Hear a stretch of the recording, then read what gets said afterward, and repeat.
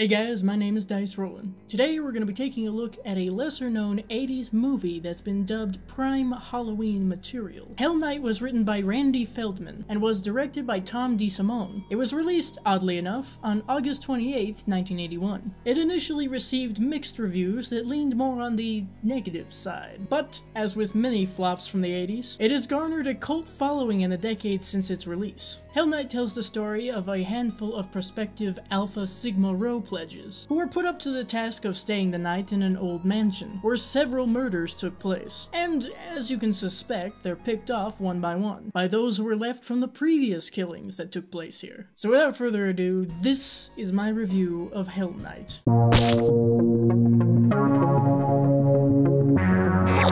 The movie starts off with a song that's a little too on the nose.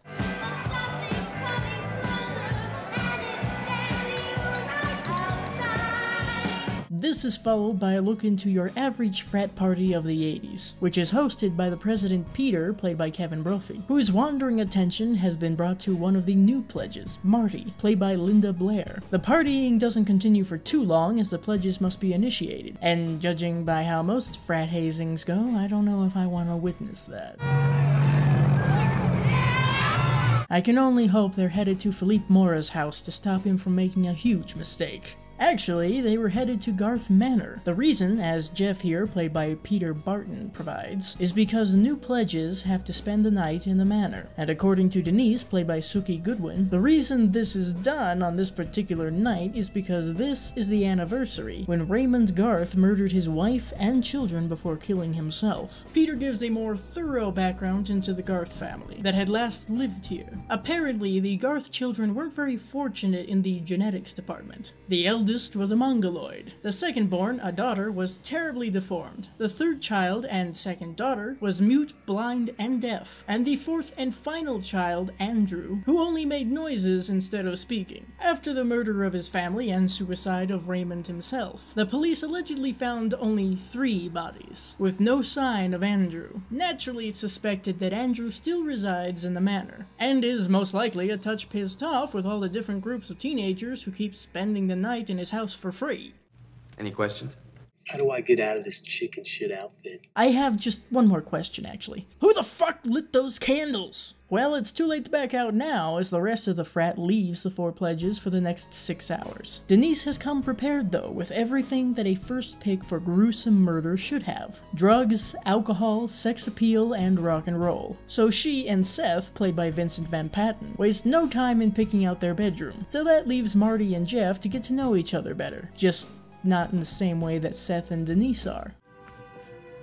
Whoa, hey, you're reaching in there with your bare hands there, boy. Yeah, he'll be fine through this shit show. Turns out Peter, May, played by Jenny Neumann, and Scott, played by Jimmy Sturtevant, weren't actually going to leave the four alone till dawn. They have a plot to scare the shit out of the group. While they're busy putting their plan into action, we learn that Jeff and Marty essentially come from opposite sides of the tracks, which means that Jeff's rich and Marty's a mechanic. Now it's time for the spooky antics to begin. Or as Seth puts it, Somebody's trying to mindfuck us.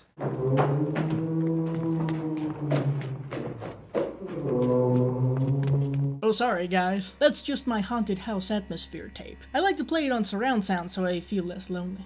As it turns out, that's also what's happening here, as there are speakers wired throughout the manor. So Jeff dismantles them, which means it's time for the second part of this prank. Peter has May go around the manor to create a diversion. This isn't such a fantastic plan though, as something reaches out and touches her, and drags her into a dungeon and chops her head off. Meanwhile, Jeff and Seth investigate more tracks from the Sounds for a Spooky Night vinyl, which leaves Marty to experience something more visual. I'll give credit that at least they didn't use some cheap mask for this holographic illusion. It certainly worked on Marty. During Scott's preparation for more torment of the pledges, someone joins him on the roof and twists his neck like a bottle cap. Unaware of the doom lurking around them, Jeff, Seth, Marty, and Denise attempt to get some sleep in the mustiest looking beds I've ever seen. After attempting and failing a mirror trick on Denise, Peter goes looking for Scott. See, you just can't play pranks on someone high off their tits. On the bright side, I guess, Peter does find Scott.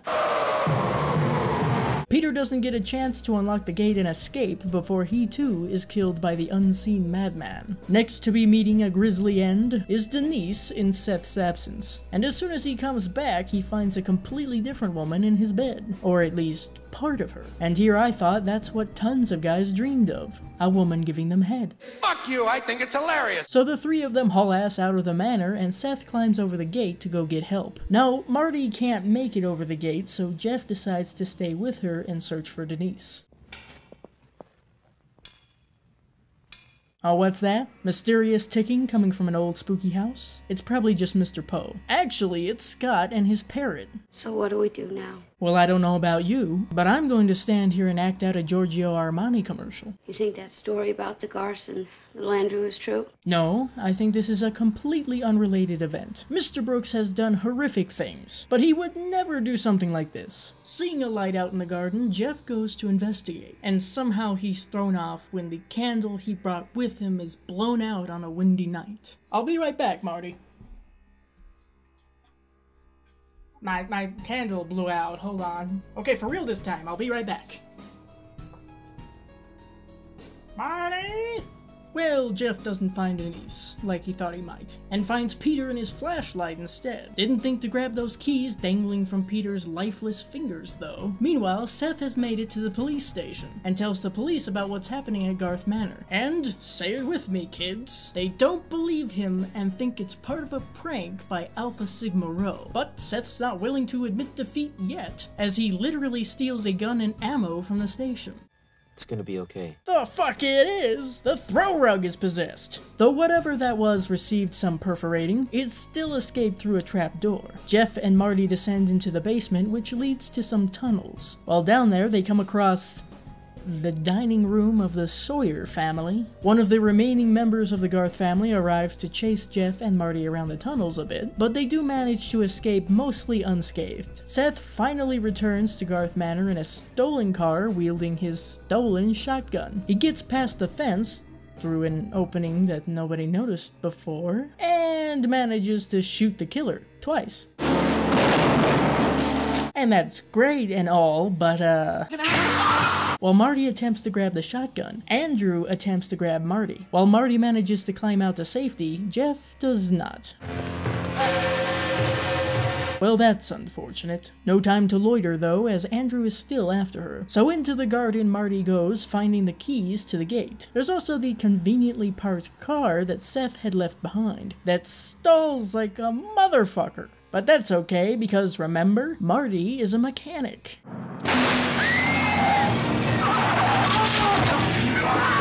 Yeah, I guess that would be the perfect place to take a nap. With the sun rising and the last remaining Garth, to our knowledge, dead, Marty makes her way back to civilization. And with that, the credits roll.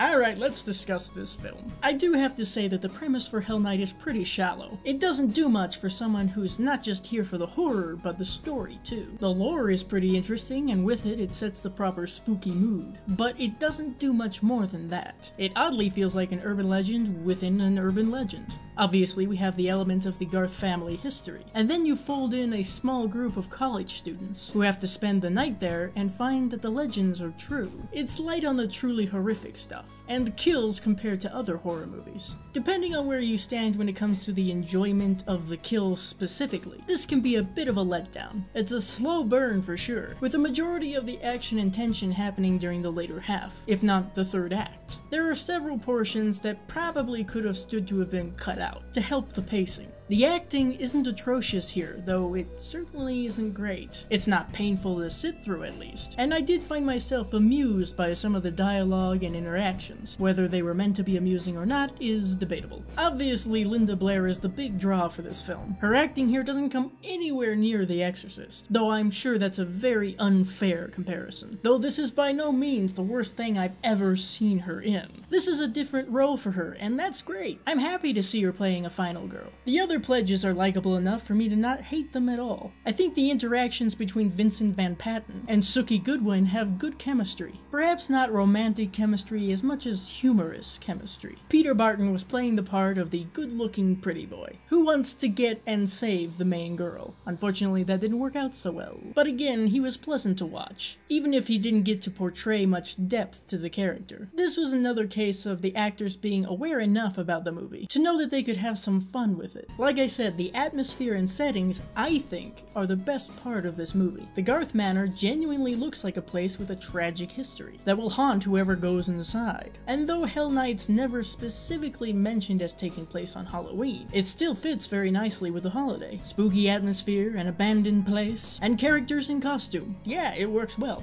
Clearly, all the special effects are practical, and they do look decent. Nothing looks too much like a cheap mask except for the actual cheap masks. The effects for the kills were solid and got the point across, without throwing a bunch of blood and guts out there. Aside from the kills, the two Garths are the focus of the effects. Once again, they looked believable enough for me, to go along with them being the antagonists whom the characters are terrified of. They each had a unique look that separated them from the other. I can't say that they stand out greatly when compared to other horror killers and monstrous creatures, but they look good. The score for Hell Night was composed by Dan Wyman, who had also done work on Halloween and The Fog. The score is alright and it does its job for the movie. It lends itself to the atmosphere without going unnoticed, or drowning everything else out. It doesn't stand out tremendously for me personally. I believe I did detect some notes that were familiar here and there. With all that being said, I'm giving Hell Night 5 out of 10 bloody thumbs up. If you go into this one anticipating a lot of bloody kills and freakish killers being prominently shown, you're